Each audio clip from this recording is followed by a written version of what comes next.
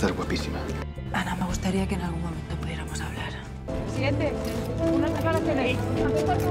Cariño, tengo un compromiso esta noche. Tengo que trabajar.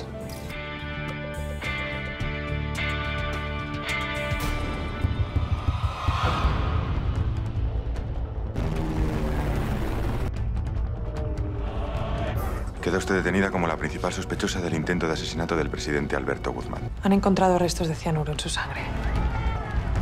Asegúrese de que la detenida entre en prisión y que se haga eco la prensa.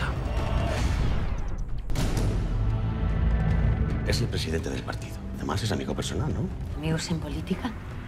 Me hagas reír, Javier. Sabes que nos tienes para lo que necesites. Estáis ocultando algo. Pero no me dejes aquí, por favor. ¿Usted para quién trabaja? Para el gobierno de este país. Pues esto es un asunto de Estado. Sí.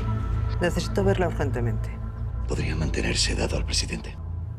¿Cómo? Le has tendido una trampa, ¿verdad? No se meta en nuestra guerra. Eso es lo que me preocupa.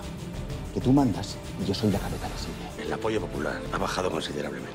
La alarma social está disparada. Nadie confía en el partido. Cuando tú eras el presidente, estas cosas no pasaban. Yo siempre he confiado en ti.